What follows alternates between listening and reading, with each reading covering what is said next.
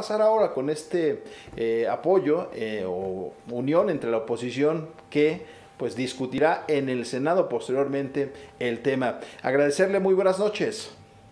Muy buenas noches, Julio. Con el gusto saludarte y a sus órdenes, como siempre. Eh, primero, eh, sobre esta situación de los fideicomisos, eh, veíamos por la tarde que tuvieron una reunión virtual los diferentes partidos políticos, sus dirigencias, para discutir, analizar lo que podrían hacer en la Cámara Alta una vez que se apruebe la desaparición en la Cámara de Diputados. Sí, efectivamente, tuvimos una reunión con eh, investigadores, directores de centros eh, y de instituciones eh, de las más prestigiadas del país, de investigación científica, de docencia, instituciones de educación superior y los dirigentes de los partidos que estamos claramente oponiéndonos en contra, oponiéndonos a la desaparición de los fideicomisos en tanto en la Cámara de Diputados y lo hemos manifestado también para la Cámara de Senadores. Entonces, eh, obviamente que estamos ante una irracionalidad, una brutalidad que se quiere consumar, que además eh, es violatoria de un conjunto de eh, acuerdos internacionales que México como Estado mexicano y también los mismos fideicomisos y centros de investigación del país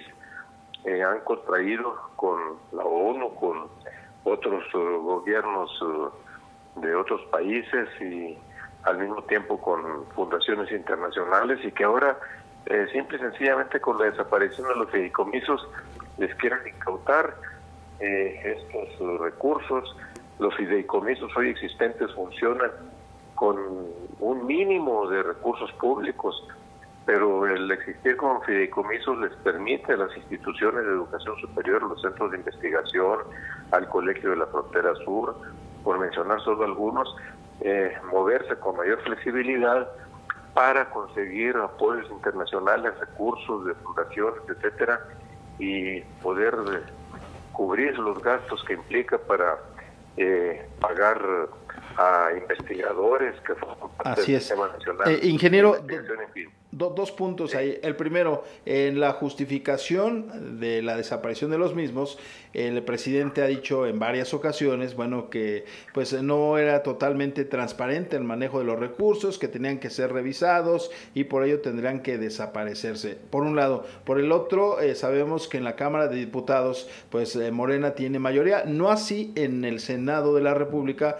donde ya hemos visto en otras ocasiones que la oposición al unirse ha podido, sí, hacer un dique a algunas modificaciones. Eh, primero lo de la transparencia y después el dique en el Senado, ingeniero. Sí. El, presidente miente, es un mentiroso, ya se volvió un mentiroso, mentiroso contumaz cotidiano. Eh, sabe que no es cierto, eh, los fideicomisos están sujetos a reglas de operación muy claras y han demostrado una gran transparencia en, la, en el manejo de sus recursos, han sido auditados y ahí están. Si hay fallas, si hay problemas de corrupción en alguno, pues que se eh, establezca claramente quién lo está cometiendo y que se finquen las responsabilidades correspondientes. La bandera del presidente es eh, también demagógica, la de, ah, hay corrupción, desaparece, los oye, pues si hay corrupción, eh, simple y sencillamente ataca los problemas, fincando las responsabilidades a quien corresponda, a quien las haya cometido Ahora, ¿qué vamos a hacer? En el, lo que pasa es que el presidente quiere hacerse de cualquier recurso público que haya o no público con esto que está haciendo con los fideicomisos para meterlos a sus obras faraónicas, inservibles además, y al mismo tiempo para sus programas sociales de carácter clientelar electoral para el próximo año. Ahora, ¿qué vamos a hacer el Senado después de todo esto que todavía está dándose la discusión y celebro que se haya hecho resistencia por las oposiciones en el eh, Palacio Legislativo de San Lázaro, entre ellos el PRD muy activo allí, eh, pues, pero pues todo esto va a pasar allí con eh, sus feligreses que acatarán sumisamente lo que les ordena el presidente de la República. En el Senado de la República, de la República pues hay otra correlación, ciertamente. aunque Morena y sus aliados sigan teniendo mayoría simple para hacer lo que quieran, tratándose de reformas legales. Eh, pero puede ser que haya ahí una mayor sensibilidad, ojalá y así sea, ojalá y se abran, ojalá, y ahí en el Senado de la República eh, practiquen eh, lo que se ha dado en llamar el Parlamento abierto, es decir, que antes de aprobar, de dictaminar la minuta que les va a llegar de la Cámara de Diputados, escuchen a la comunidad científica, a los artistas, a los intelectuales, a los del ámbito del cine y la cultura, etcétera, eh, y que eh, conforme a lo que estas voces prestigiadas del mundo del desarrollo más pensante del país les digan puedan tomar una decisión y si es así estoy seguro que rechazarán. ¿Usted cómo hoy está decidiéndose ahí? Tras la reunión de hoy, ¿cómo percibe el ánimo en los otros eh, actores políticos, Movimiento Ciudadano, PAN, eh, algunos eh, especialistas, investigadores que participaron? ¿Cómo percibe usted el ánimo? Muy firmes, muy dispuestos, cosa que celebro de hacer un frente común y de mantenerlo en defensa de el el bien del país, el desarrollo científico, de la educación y todo lo que esto implica. Muy firmes. Eh, y así vamos a actuar en el, en el Senado de la República y si acaso en el Senado pasa esta extinción de los fideicomisos, habrá otros recursos, amparos y habrá también la posibilidad de recurrir a instancias internacionales porque, eh, subrayo, como nos lo dijeron los... Investigadores en la reunión de hoy, muy temprano, a las 9 de la mañana, de 9 a 11, tuvimos una larga plática. Eh, pues hay convenios internacionales que no se pueden violar con la mano en la cintura. López Obrador puede violar la ley aquí, pero no la puede violar en tratados internacionales con la mano en la cintura. Hay que recurrir a esas instancias, hacer uso de todo lo que esté a nuestro alcance para salvar el desarrollo científico, tecnológico, la cultura, el arte, la cinematografía, todo lo que tiene que ver con los fideicomisos que abarcan la prácticamente la más amplia gama de los eh, temas del país, eh, Julio. Finalmente, ingeniero, un tema que no puede pasar por alto es la situación del 2021. ¿Buscará el PRD alianzas con Acción Nacional, con Movimiento Ciudadano, incluso con el PRI, con miras a quitarle la mayoría de Morena en el Congreso?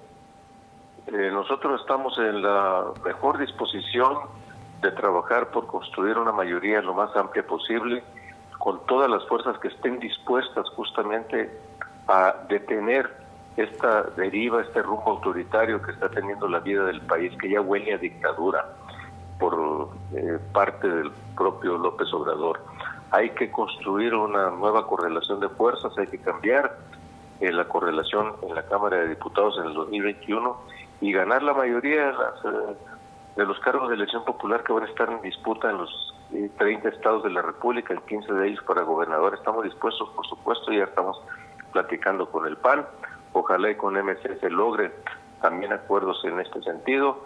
Con el PRI en donde se pueda, hay muchas reticencias, muchos pruritos eh, entendibles también por una historia de confrontación muy larga con, con ellos y y, pues luego en varios estados no es bien vista, pero por ejemplo en Baja California Sur apenas el, domingo eh, salió un pronunciamiento de todos los partidos de oposición allá, PAN, PRI, PRD y dos partidos locales, ah, hablando de que se comprometieron a buscar juntos una candidatura de unidad y hablar con representantes de la sociedad civil. Hay que incorporar, por cierto, a muchos sectores muchos eh, representaciones de la sociedad civil que eh, tienen personalidades muy prestigiadas abriendo candidaturas de los partidos políticos a que participen para que estén presentes en las cámaras y defiendan de la mejor manera el interés de la gente, las mejores causas y el interés del país, Julio. Pues estaremos al pendiente, ingeniero